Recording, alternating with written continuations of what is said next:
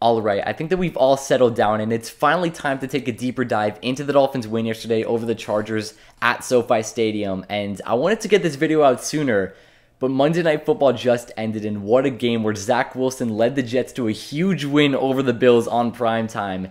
Aaron Rodgers went down on the very first drive of the game, and he's getting an MRI tomorrow. For all we know, he may be out for the rest of the season with a ruptured Achilles, or he could be back next week fully healthy. Um, we won't really know anything until tomorrow, though, when those MRIs are complete. But what a game by Zach Wilson. Not so much for Josh Allen. Three interceptions and a fumble on the day. The Dolphins look by far like the best team in our division, so we'll see what happens with that. The only other team that got a win is the Jets, and like I said, Aaron Rodgers could really be out for the rest of the season for all we know. Um, and of course, a big divisional matchup for the Dolphins next week on Sunday Night Football at Gillette Stadium versus the Patriots. So I'm excited for that game. But jumping into this deeper dive, basically just some things that I went down. I went back and rewatched some parts of the game um, and wrote some things down. Now, last night at the I, for for the recap, I was just way too excited. I was talking nonsense. So we're gonna have a little bit more organized video. Um, so starting with the offensive line, I know I talked about them yesterday, but I think that they deserve all of our respect. Um, Kendall Lamm, Isaiah Wynn, Connor Williams, Robert Hunt, and Austin Jackson, all in order. Thank you for protecting Tua Tagovailoa. Now, um, not a single sack yesterday. Now, I know that um, obviously the O line deserves our respect, but Tua, his pocket presence, that's one of the reasons why he was drafted so high in the 2020 draft at fifth overall. It's one of his best attributes, especially being in the NFL and being and having that type of pocket presence. Um, we saw it on that third and 10 play on the final drive for the Dolphins, which, you know, uh, on the run, running forward, the in the buckets Tyreek Hill, I still can't get over that play. Um, now there were some flags. I think I think Connor Williams had, um, of course, those two messed up snaps, but he did have an illegal contact. I think Isaiah Wynn had a holding call here and there, um, but I think really nothing else. And uh, Khalil Mack, or yeah, Khalil Mack and Joey Bosa were nowhere to be seen yesterday. Now, Jaelan Phillips and Bradley Chubb, I'm going to get to them in a bit because they were really nowhere to be seen either. But the bigger story was Joey Bosa and Khalil Mack against a backup tackle in Kendall Lamm and Austin Jackson, who has a lot to prove this season. I'm surprised that they couldn't even get to the quarterback. Now, of course, they, they had some pressures here and there, but not a single sack on the day for that Chargers D line is absurd to me. So great job to the offensive line. The development of Austin Jackson is going to be so important to this team, and seeing how we played yesterday in Week One is such a good uh, sign for this team. And of course, you know, for most teams, the left tackle is way more important, but for our team, the right tackle is more important. It's to his blind side, so we can't be letting him getting hit from that side. And he did a great job, Austin Jackson did, on um, Joey Bosa, which was the side he was on most of the game. Um, so once again, thank you to the offensive line for protecting our franchise quarterback. Moving on to the play calling, I'll be on this subject for a while. I'll start. I'll start with McDaniel in the offense, and then I'll go to Vic Fangio in the defense. Um, but starting with the offense, we passed the ball 50 times yesterday, 5-0. We ran the ball 15, 1-5. That is crazy. Now, I'm not saying that, you know, that it's wrong, but it's just crazy to say that. Um, now, I would love to see the Dolphins be running the ball more. That's kind of what I had in mind going into this game, especially because you know this type of system that McDaniel brought over from the Kyle Shanahan offense. He's a it, it's a run first scheme, but the the the way that Tyreek Hill and Tua Tagovailoa were connecting yesterday, the way that both of them were balling out, I'm not mad that we passed the ball 50 times. And um, you know, you keep doing what's working. If it's not broke, don't change it. And like I said, I wanted to see more runs, but at the same time, Tua threw for 466 yards and three touchdowns. Tyreek Hill caught 215 yards. Why run the ball if it's working? Now, there was scenarios where um, the Dolphins should have ran the ball for uh, first and goal with two minutes left from the Chargers' nine yard line. And this was coming out of the two minute warning. It was first and goal. We passed the ball three straight times, man. And the Chargers had one or two timeouts, and we were down three, four. We were down four in that scenario, so we needed a touchdown, obviously. But um, if Jason Sanders made that extra point, which is what everyone was expecting, we would it would have been a three point game, and the Chargers would have easily had enough time to drive downfield and score a field goal. He missed that extra point, which made everything way more nerve wracking because the Chargers drove down just uh, you know a good 45, 50 yards. Or actually, no, make that like 40, 35 yards. They were in field goal territory for the win because they were only they were only down two after that Jason Sanders missed extra point.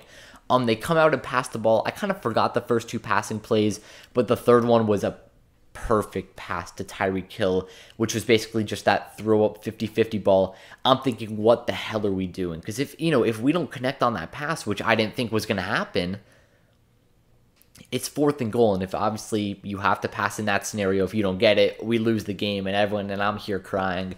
Um but uh, no Jeff Wilson, no De'Von Achane, so it makes sense that we pass the ball a lot more. I think once we get those guys back, we will be running the ball a lot more.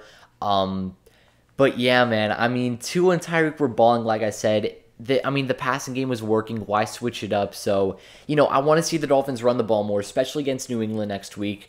Um, but yeah, man, like first and goal from the Chargers nine, I don't want to see uh, three straight passes anymore. I want to see the Dolphins run the ball, and not even just because I think it can score the ball. It's that in that scenario where that where we want to waste time for the Chargers. I thought it wasn't a very smart play, but of course we ended up scoring the touchdown. We ended up winning the game. He had faith in our defense. I didn't at that point in the game, and I don't think a lot of people did. But we ended up getting the win, so all hail Mike McDaniel. Onto the defense, though.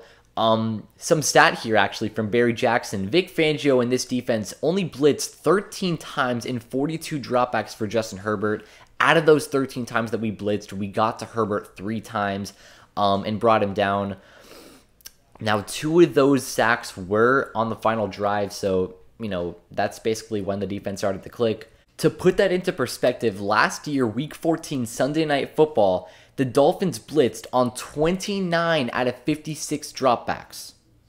So yesterday, out of 42 dropbacks, the Dolphins blitzed 13 times. And last year, they blitzed 26 times out of 56 dropbacks, or 29 times.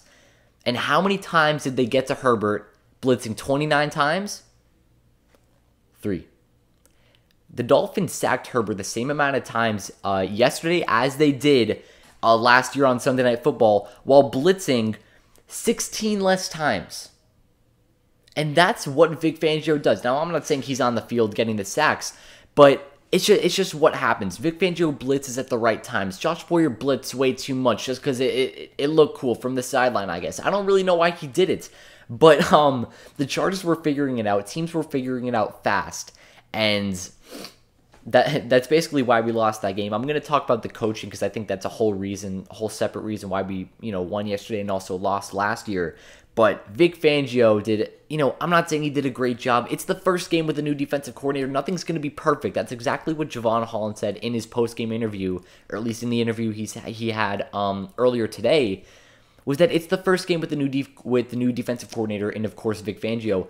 Nothing is going to be perfect. Um, a lot of guys are learning new schemes. We have a lot of players from last year returning, obviously. A lot of new players on this defense, and DeShon Elliott, David Long, um, and of course a lot of guys who are coming back from injuries. So nothing's going to be perfect with the whole new scheme and a whole new D coordinator in week one. I'm expecting to see an improvement versus the Patriots in week two because I do not want to see the Dolphins in a shootout against an offensive team like the Patriots because not an offensive team, a defensive team like the Patriots because the Patriots don't have a good offense. Now, they put up 20 something points against the Eagles, um, but they're also, you know, they're, they're also kind of in the same situation because their defensive coordinator, Jonathan Gannon, although they weren't a big fan of him, um, he left to be the Cardinals head coach. So they're, they're, they have a whole new, uh, new set of coordinators actually as well. So, you know, we'll see what happens in week two with the Vic Fangio defense. I want to see them stuff uh, Mac Jones. I want to see them stuff the run. I want to see an improvement in the run defense. Um, and that's actually what we're going to get to right now. 234 yards on the ground for the Chargers yesterday. That's unbelievable and unacceptable. Like, we cannot be having that. I know Austin Ekeler's a stud. Joshua Kelley isn't some backup bum. He is a backup, but he's not a bum. Um, and on that run defense, right, I wanted to see more from Christian Wilkins and Zach Sieler. Now, Zach Sieler just got an extension. Christian Wilkins wants an extension. If that's what's going to happen when you're on the field, you're not getting any money. Like, if you're trying to get an extension, just take the money that we're giving you now because I don't think it's going to be raising with, with performances like this 234 yards on the ground in front of our best run stopper in the NFL. Now, of course, Christian Wilkins had his plays, and he had, uh, I think, a couple pass deflections as well as our D line did. But man, I mean, it just pissed me off. There would be drives where the Chargers would run the ball nine straight times down the field. Herbert didn't even have to pass the ball. The Chargers ran the ball eight out of nine plays on one drive. Then they would come down the next drive, run the ball seven out of eight plays, and run the ball six out of eight plays again. And it, it, it was just, the Dolphins couldn't do anything about it. It was pissing me off, but at least, you know, we knew what was going to be happening. Um, but yeah, man, Sieler and Wilkins really disappointed me yesterday. I, I, I really want to see more out of this run defense and the defense in general next week in New England. Um, now, Bradley Chubb and Jaelan Phillips, they were getting held the entire game. The refs were, honestly, I'm not going to complain about the refs because, you know, there's nothing we can do about it now, and there's nothing you can really do about it during the game as well.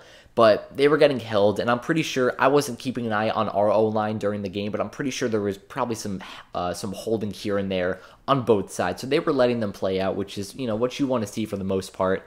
Um, but like I said, Chubb and Jaelan Phillips and that basically that whole defensive line, they showed up on that last drive where they got the fourth down stop.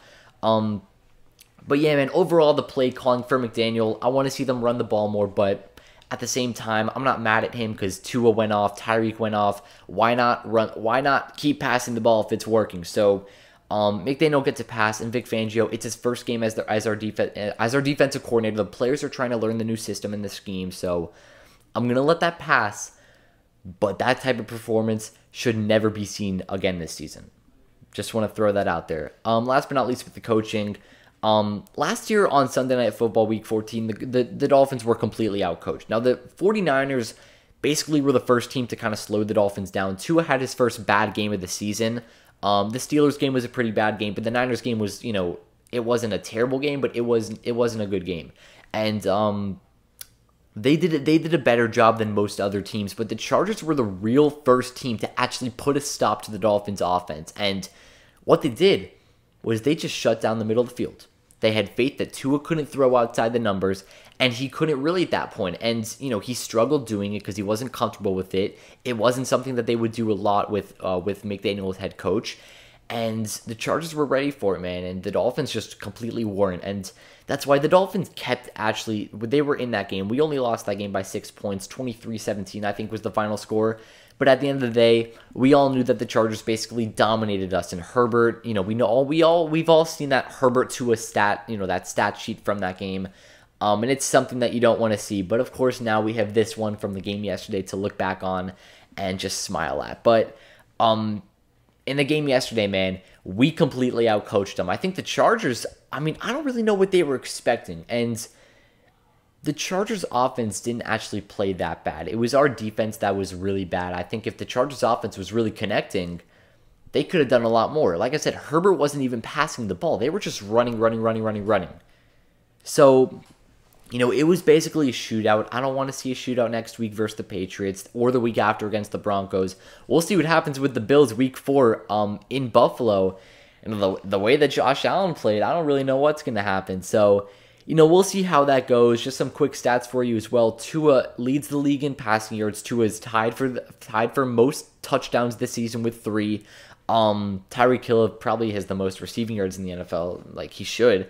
Um, and I think Tyreek Hill is actually over 11% on the way to 2,000 yards, which is crazy. On this pace, I think he's on pace for three something thousand yards, which is crazy. Of course, he's not going to be getting 215 yards every single game, um, but you know, obviously we're on pace for a huge season for with Tyreek Hill and Tua.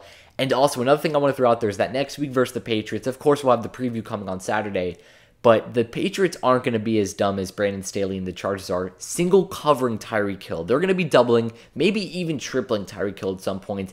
But that's where this offense is so dangerous. You can't leave that many guys back in coverage because we have speedsters in Mostert and Achane, who's I hope he's going to be back next week. And also Ahmed and Erik Ezukanma, who's even getting handoffs from the backfield. And then, of course, you have Jaylen Waddle. You have Braxton Berrios, River Cracraft, um, Cedric Wilson, who we'll see if he plays next week. Um, I'm excited for the game next week against New England on prime time, Sunday nights. Uh, but yeah, man, with this game, I'm really happy about the outcome. Of course, a lot of things that can be different because we barely won that game. Still without two of our three best players. I wouldn't be surprised if Armstead didn't play next week, actually. Thinking more on it, because of the way that Kendall Lamm played, we should not rush Terron Armstead back. Let him get to 110% and then let him come back and try to be fully healthy for the entire season. We probably know that that's not going to happen, but it's worth a shot. Either way, that'll wrap up your Miami Dolphins win a huge game over the Chargers. We'll be back tomorrow with maybe a week one recap, maybe an AFC East overlook from week one. We'll see. But either way, that'll wrap up. Hope you guys enjoyed. Have a great day. Peace.